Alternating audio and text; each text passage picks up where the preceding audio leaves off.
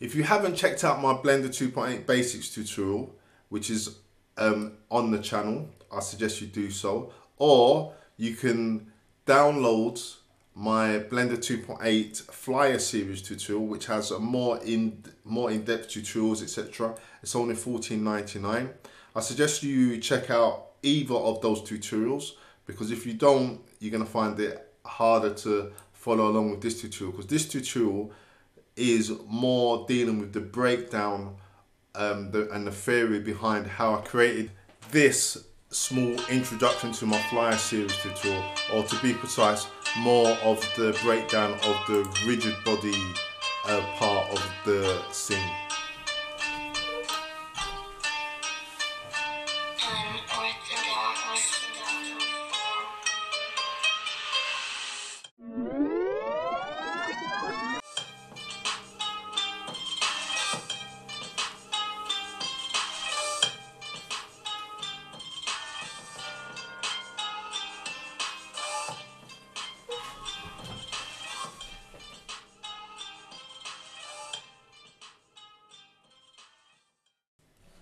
Okay, so like I said, we're going to deal with the, the breakdown of the scene of how the robot crumbles.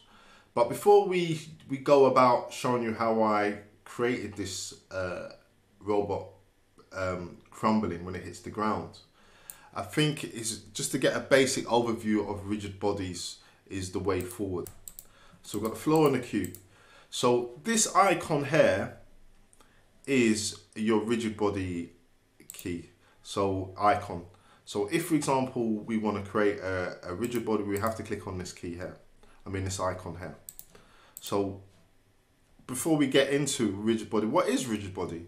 Well, basically, rigid body is a way of taking the grunt work out of uh, doing um, real world physics. So say, for example, you wanted to create a bouncing ball or an explosion or um, you know, well, more of explosion or anything like that, which you want where it deals with real world physics. You can obviously animate it by hand, but it's better to maybe perhaps for some things, not everything, um, just you let the computer do the work for you, and then you can con concentrate on maybe your character animation or something else. So you don't have to put all your time into maybe an explosion with debris flying everywhere. To animate and every an explosion with debris flying everywhere is quite time consuming. So you could just use um, the rigid body to do the grunt work for you. So okay, so if we then clicked on the rigid body, clicked on this icon here, rigid body, it, it will come up with this um, menu here.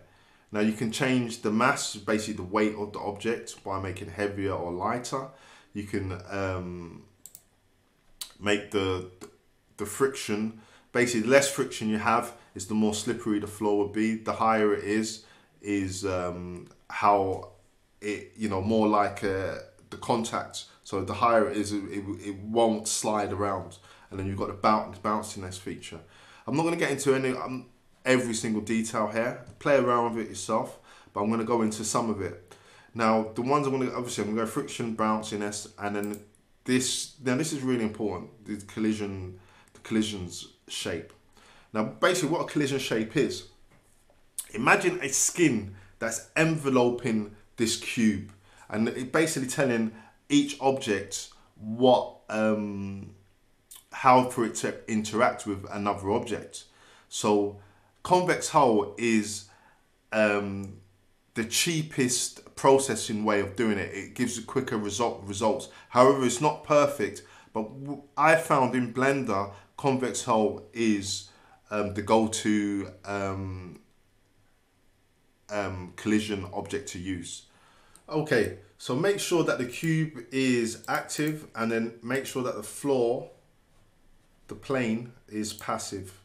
So click on that, make sure it's passive. Now, if we then hit play, that's what happens. Now, we can increase the bounciness of the cube by simply um, opening up, so make sure surface response is open, increasing the bounciness icon here, and also increasing the bounciness of the floor. And now if we hit play, it bounces a bit more. If we ramp it right up,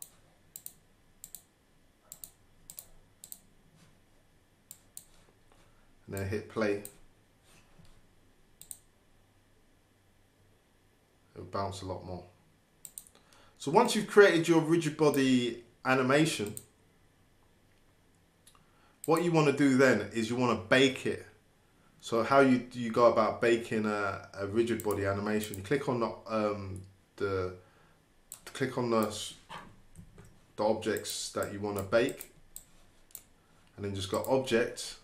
You got rigid body, and then you bake to keyframes, and then it will bake how many frames you want to do it at. So say one to uh, whatever, say one to fifty in this scenario.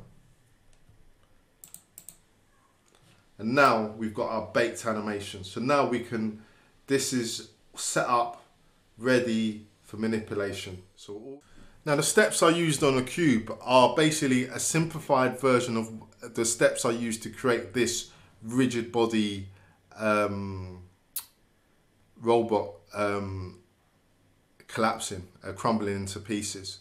However, there is one more step which we'll deal with now. Okay, so obviously when you see this scene, you see the character falling and then it explodes on contact on the, on the ground. Now, how I created this scene is a little bit more um, sophisticated than it may seem and a little bit more complex. Now, what I did is I created two of these objects. So let's just uh, close that window for a minute. And this is how I did it. So we've got this animated character at the top. He's and he's and he's falling here. And as he falls, he hits when he hits the ground. It's exactly the same position of this other character um, I've created, and that's your that's the exploding part. So if I so that that's the exploding one. This one is the this is the one that explodes. So this is the one with the rigid body attached to it. And this is the one animated one this one's been animated in, and then when he hits the contact position, exact position of the character, he then explodes. So all, literally all I did with, with this scene is I've made this object on contact disappear. So the minute he lands, so if we go back to the, the other scene, when he lands, he disappears at the exact frame, and then we've got we switched over to the other animation. Okay, so let's explore how to make our object um, disappear and reappear. However, let's not use this uh, character to do it. Let's just use a basic cube um, to show you how the process works. Okay, if you haven't got a cube in your scene, uh, get one in your scene, add a cube or just restart um, in general defaults and just have a, a cube in your scene. Okay, so the first step is make sure you're in animation. And then see this icon here, this is like a, your filter icon. Click on it, make sure disable view pulse is on and also make uh, disable in renders on. So your scene should now look like this. You should have three icons here and um, these icons should be available and you should be in animation mode. Okay, so what we want to do is we're going to make this um, cube visible from frame 1 to 10 and then disappear from frame 10 to 20 and then reappear from 20 to 30. So how we go about doing that is uh, very simple. Let's just first of all we don't need to work with so many frames, so let's just move that down to 30. So, first and foremost, we go to frame one and then hover over the cube and then press I. And again, hover over the um, camera, disabling renders camera and press I. So they should turn this yellow orangey color. And a keyframe should be created here. slide your uh, bar over to frame 10 and again press I and then press I. And it's created a, a keyframe from 1 to 10. Then move to frame 11 and press I, press I again, click on the icon, click on this icon, press I again, make sure that it's, it's turned to green, press I again, and that's created a keyframe. You can't see it here, I'm not sure the reason why, I don't know if it's a bug or if I'm doing something wrong, but it's not, it's disappeared for some reason. So anyway, ignore that. It might be changed by the final release of Blender, might not, who knows. So anyway, move to frame 20, click on this icon here, click on this icon here, make sure you press I, press I again, and then move to frame 30, press I, sorry, press I again, I again. And now, hopefully when we play this animation, it would disappear from frame uh, 1, it would be appearing from 1 to 10 and disappear from frame 10 to 20. So you see that? So let's click on object and it shows the keyframes. So 1 to 10 it's appeared, then it's disappeared, and then it reappears again. Let's click on that. So it shows you that's the disappearing, the disappearance of the object.